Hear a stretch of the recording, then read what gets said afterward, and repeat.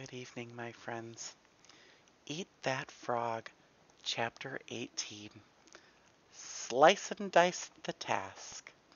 The beginning of a habit is like an invisible thread, but every time we repeat the act, we strengthen the strand, add to it another filament until it becomes a great cable and binds us irrevocably in thought and act.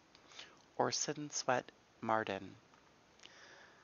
A major reason for procrastinating on big important tasks is that they appear so large and formidable when you first approach them.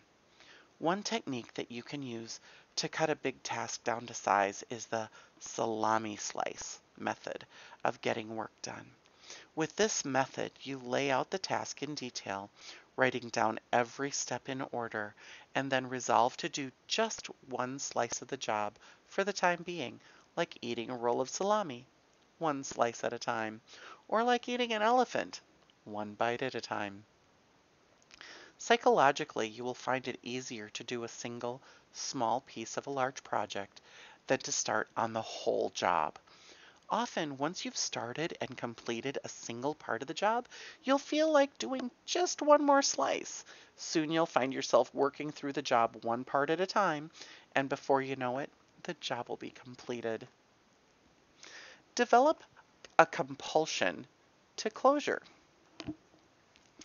An important point to remember is that you have deep within you an urge to completion, or what is often referred to as a compulsion to closure. This means that you actually feel happier and more powerful when you start and complete a task of any kind. You satisfy a deep and subconscious need to bring finality to a job or project.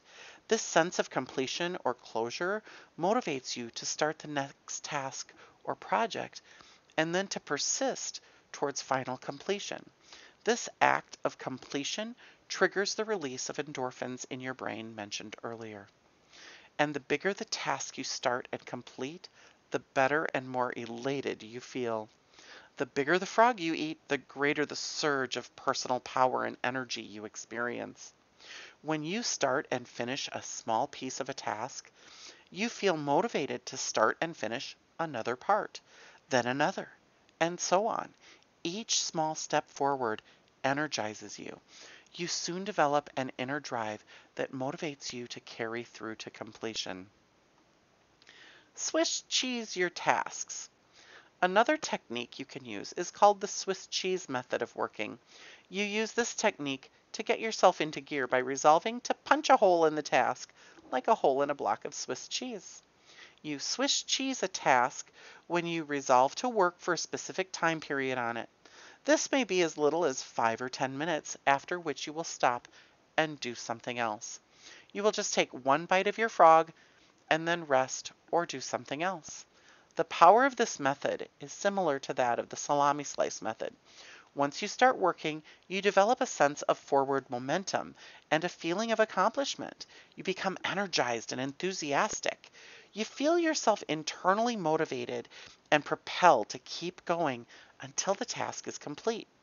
You should try the salami slice or the Swiss cheese method on any task that seems overwhelming when you approach it for the first time.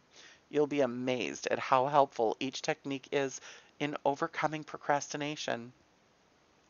I have several friends who have become best-selling authors by simply resolving to write one page or even one paragraph per day until the book was completed. And you can do the same. Eat that frog. 1.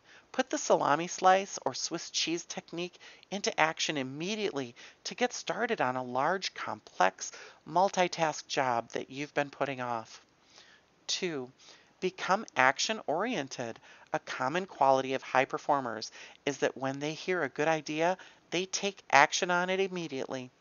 Don't delay, try it today. And that, my friends, is the end of chapter 18. Have a good evening.